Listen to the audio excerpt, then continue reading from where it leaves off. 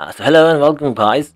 Uh, today uh, we want to know how to take a screenshot or some people may like to call it call it SS in Windows 11. Uh, so we are taking we are trying to take a screenshot of the screen right in front of us.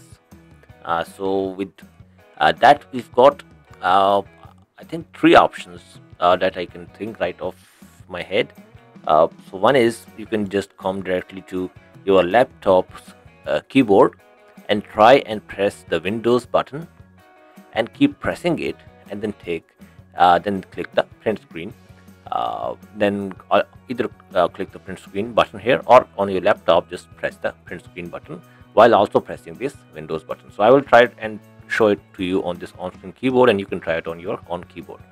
So I'll keep on pressing this Windows button and then I will come in here and press this print screen button and what that does is you just saw a dark screen and with that dark screen it took a screenshot so this is one way of taking a screenshot and if you want to know where did that screenshot go so it went directly to the clipboard. And if you want to check uh, the clipboard history all you have to do is just come to uh, your laptop and press this windows and the v key. So this brings you to your history of the clipboard. And you keep on extending the history extending extending the history and it will keep on getting more and more uh, heavier. So this is the figure that I copied and if I want if I want to paste it somewhere just come to your the easiest way to do it, do it is to come to the paint and just paste it directly here. And you have got your screenshot. If you want to save it now just click file save as and save it to png or jpeg anywhere in your own laptop. So that is one way of doing that. Uh, other ways that are also pretty simple yet convenient uh, is just come to this keyboard again on your laptop and press this print screen button.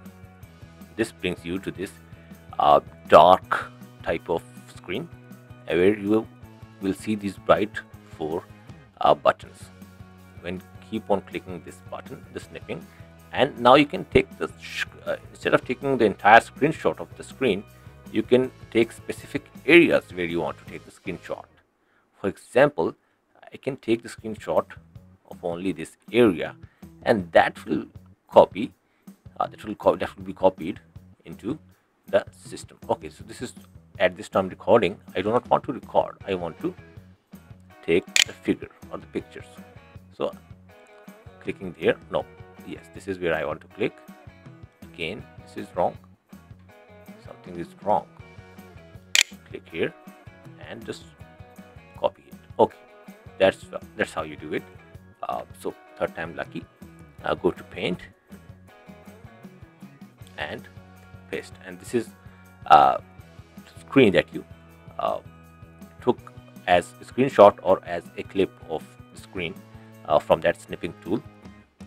And the third option uh, is to use this windows key then the shift key and then the s.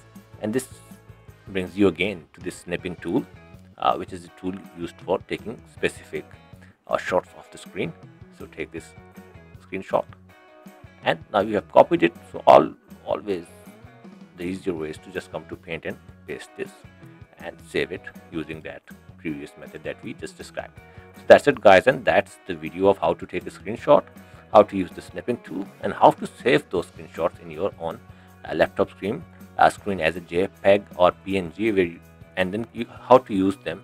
Uh, you can actually copy and use them in your own documents like microsoft word or google docs. So that's it guys and we will see you uh, in the next videos. And if you have any questions regarding this process because it was kind of uh, a bit complex so i will be more than happy to help you out in the comments. Thank you and we will see you in the next videos